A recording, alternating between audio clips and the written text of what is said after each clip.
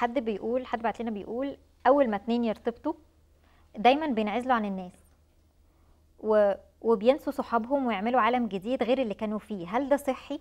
حد بيسأل. سؤال من مارينا. لا مش صحي. ساعات بيبقى غصب عنهم بيعملوا كده وساعات هم بيقصدوا يعملوا كده. ال ال الشخص اللي ترتبطي بيه ويفصلك عن عالمك دي حاجة مش صحية. ليه؟ أو اللي هي بترتبط بيك وتقطع لك علاقاتك بأهلك وعيلتك وأصحابك وكذا دي حاجة مش صحية. ليه؟ لأنه برضو عايز يبقى المياه والهواء ليك. بس أنا ممكن أبقى بغير.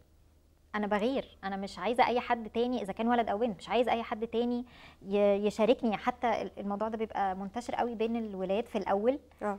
قبل الجواز يمكن بيهدى شوية بعد الجواز بس. البنات بتفضل مكملة بقى بعد الجواز في فكرة الغيرة آه، دي ما أنا بغير لكذا ما آه. تعملش كذا والبصة دي كان معناها. القصص دي إيه آه رأيك في الموضوع ده لا يعني هي العلاقات الصحية إحنا الاثنين أقوى علاقة ببعض آه لكن لا انت ليكي أصحابك وهو له أصحابه وأنتوا الاثنين ليكوا أصحاب مشتركين يعني في مساحة مشتركة بينكم لكن كل واحد ممكن يكون له حتة تانية بره.